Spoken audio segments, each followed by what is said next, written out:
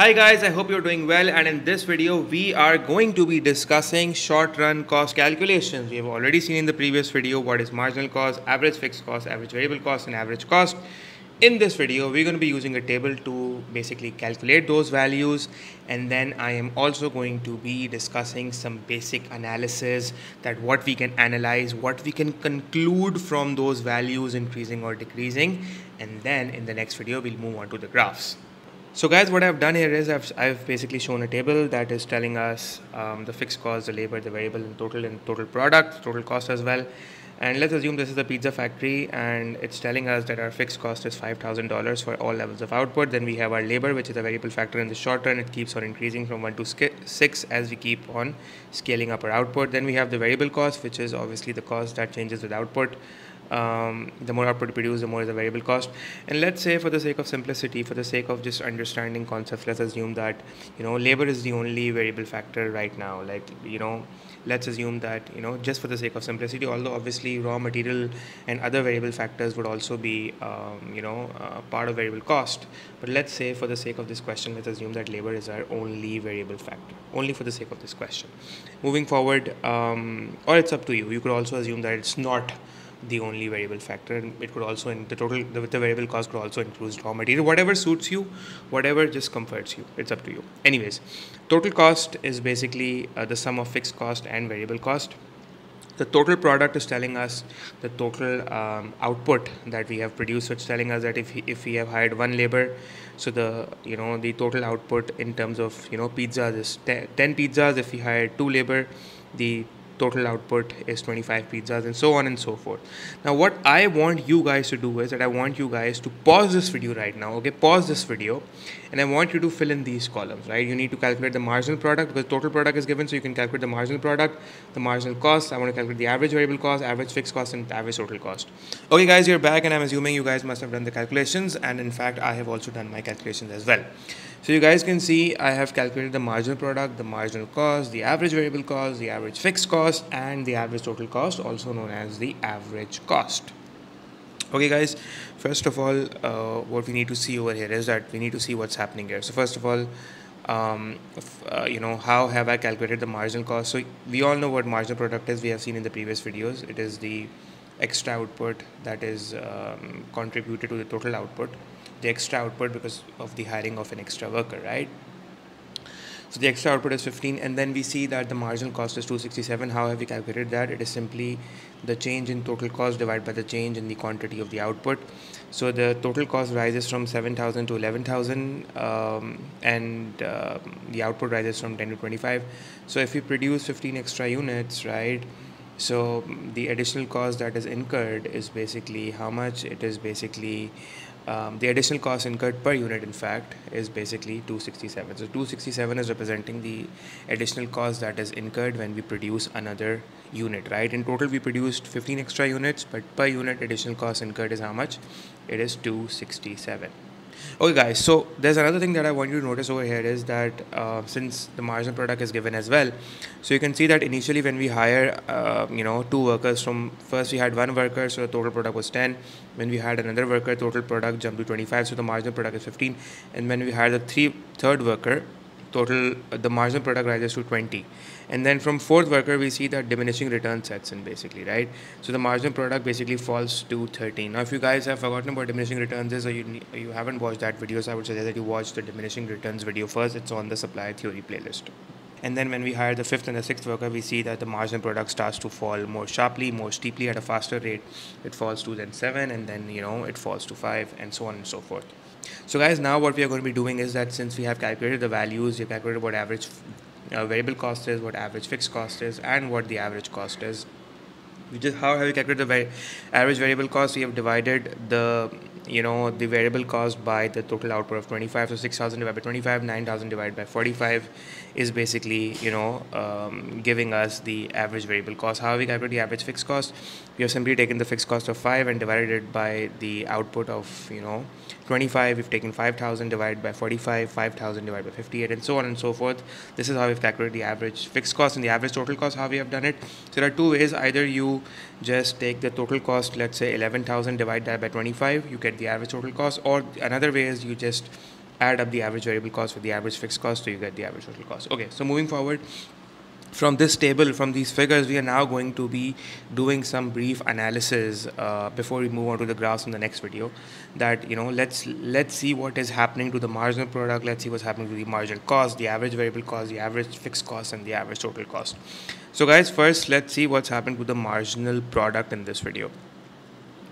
So guys, what's happening is that the marginal product, we see that it is initially increasing due to specialization and increasing labor productivity. So there's basically increasing returns to scale. So the variable factors are, you know, utilizing the fixed factors in a very good manner, in a very, uh, and that's resulting into increasing returns to scale because initially those fixed factors were underutilized and now since the variable factors are utilizing them, so it's resulting into higher productivity and specialization. Because of specialization, the marginal product is rising. So there's better utilization of fixed resources.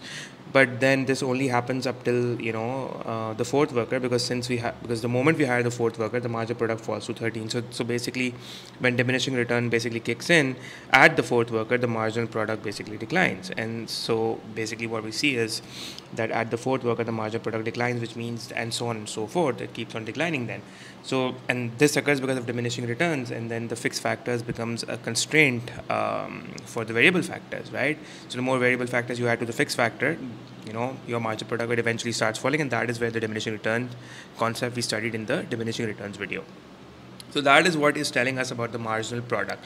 Now, guys, marginal product and marginal cost have a close relationship, basically. So if you look, if you analyze the marginal cost, what you see over here is basically uh, what's what's happening here is that marginal cost. If if if you see the marginal cost when you hire the second worker as in when you hire two workers and then the total output rises from 10 to 25 then 45 58 so the marginal cost initially is falling from 267 it falls to you know 150 and then you know once your diminishing return kicks in what happens is that your marginal cost starts to rise. So from 267 it falls to 150 then from 150 it rises to 231 the moment the diminishing marginal return kicks in. And then from 231 all the additional cost so basically the additional cost that is incurred because of producing another unit just keeps on rising. First it rises by 231 which means that if you produce another unit the additional cost incurred is 231 and then which means that you know then again when you produce another unit the additional cost incurred is 429 for the firm.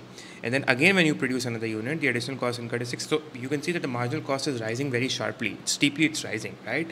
Because the simple reason for that is just like when the marginal product is falling uh, sharply, so marginal cost is also rising sharply, and the reason is that diminishing marginal returns just you know the, the diminishing returns just keeps on worsening itself. So you're adding more and more variable factors on a fixed factor, the extent or the the the magnitude the, of the diminishing returns the magnitude of the, the worsening, the, the wave of the diminishing return just keeps on worsening, and then that's why the margin product, you know, falls steeply and margin cost starts, you know, rise, rising steeply.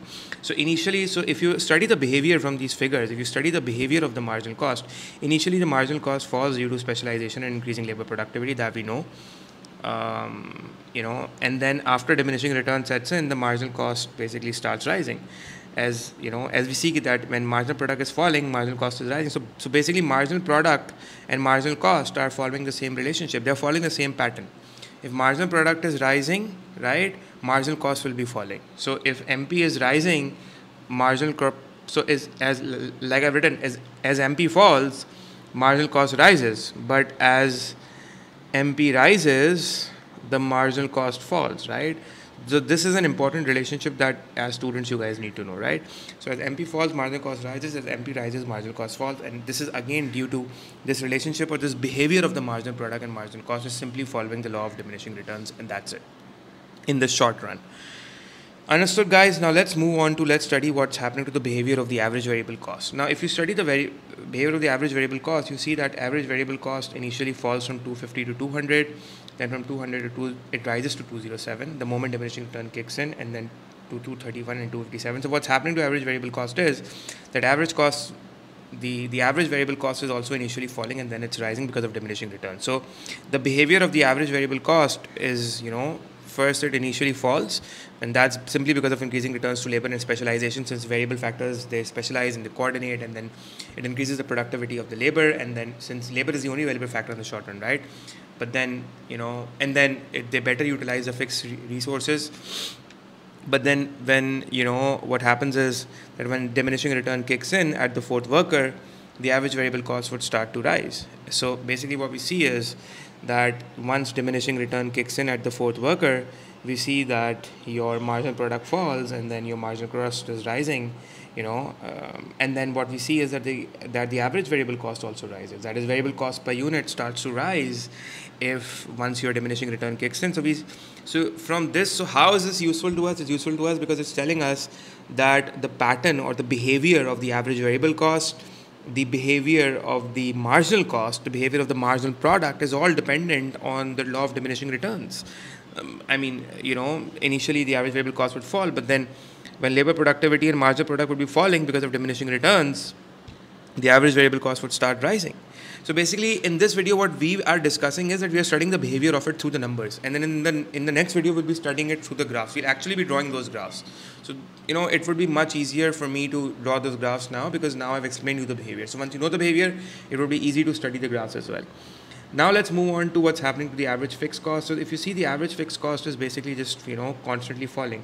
It falls from 200 to 101 and then from 101 to it falls to 86 and then 77 and 71 so average fixed cost we see it constantly falling and we do not experience any kind of disruption because of diminishing returns in the average fixed cost. So which obviously means that you know the nature of the average fixed cost is that it constantly fall. So average fixed cost the behavior of the average fixed cost is not dependent on diminishing returns because I mean, it's a fixed cost, right? It has to be incurred irrespective of whether you produce anything or not. It's just the it's just when you add more and more variable factors on those fixed factors, it's that is the reason why diminishing return sets in when the fixed factors becomes a constraint. So, so you have to just pay the fixed cost even if you're adding variable factors or not adding variable factors or you're producing anything or not producing anything. That is why the average fixed cost is also not dependent on diminishing returns.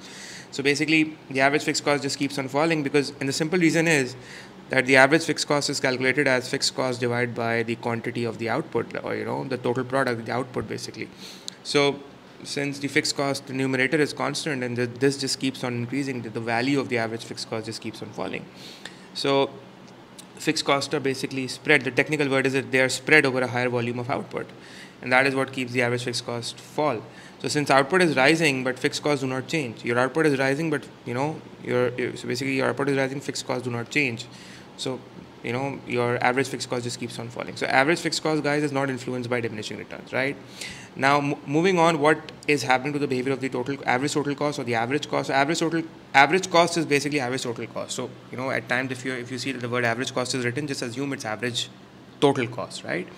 So average total cost we see it falls from 440 to 331 and then from 331 to 293 and then 293 it rises to 308 and 329 so guys we see that the average cost is basically first falling and then the average cost rises. Now here i want to tell you that although the diminishing returns has set in at the fourth worker now i want you to pay very close attention to this.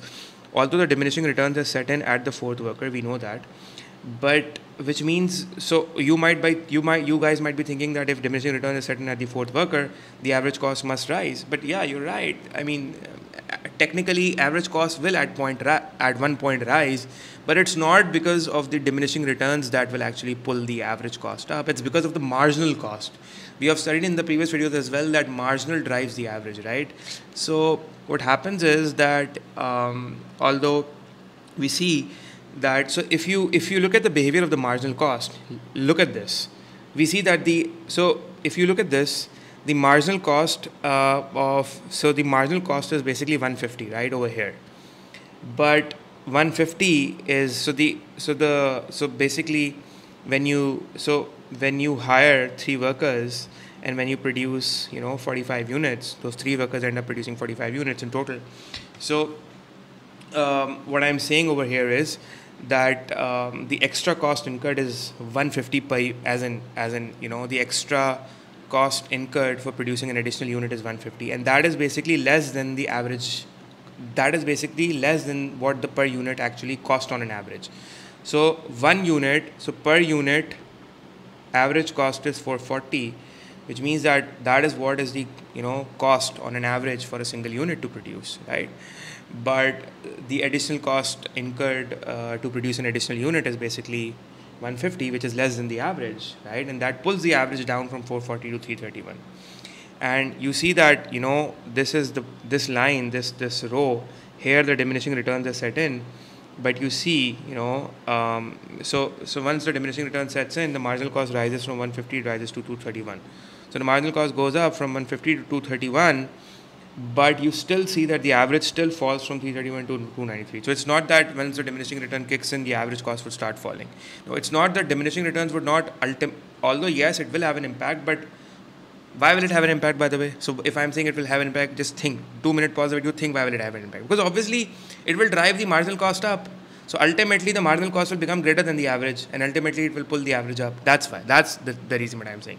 But what i'm saying is that you know at the fourth worker the diminishing return sets in and your average basically and your marginal cost rises from 150 to 31 but guys the thing is that even if your marginal cost rises from 150 to 231 still it's less than the average of 331 so the average is 331 which means that on an average a single unit cost $331 to produce while the extra cost incurred in producing that addition on uh, while the extra cost incurred in producing an additional unit was 231 which was less than the average of 331 so that pulled the average down again. But then again like i said that when diminishing return kicks in it just keeps on worsening itself so the marginal cost rises at a faster rate. So the marginal cost then you know for producing because when you produce an additional unit then the marginal cost, um, that is the extra cost because of producing an extra unit, is now $429, which is obviously 429 is greater than what the average of 293 is because the extra unit resulted into an extra cost of 429 that's what marginal cost is guys but then the average cost of producing that is the one unit cost on an as in one unit on an average costed you 293 there's a there's a reason why I'm just twisting my words because I want you to you know one thing एक चीज़ को आप ना दो तीन perspective में समझे ताकि वो आपके you know your concept just gets broadened up. Uh, basically, I enjoy teaching in this way as well, honestly. So basically, um, your marginal cost is basically now greater than your average cost, and that actually pulls the average up from 293 to 308 right? And then again, the marginal cost of 600 is again now more than what the average of three, you know, average cost is three of 308. That again pulls the average up to 329.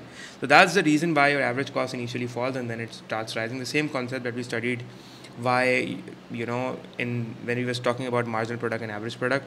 So guys initially what's what's happening here is that you know in average cost falls initially and then rises. Because if marginal cost is less than average cost average cost would fall. And if marginal cost is greater than average cost average cost average cost would basically increase. And remember that marginal cost touches the average cost at its lowest point right? Okay guys so now we're going to be studying the graphs in the next video. I'll see you all in the next video. Until then take care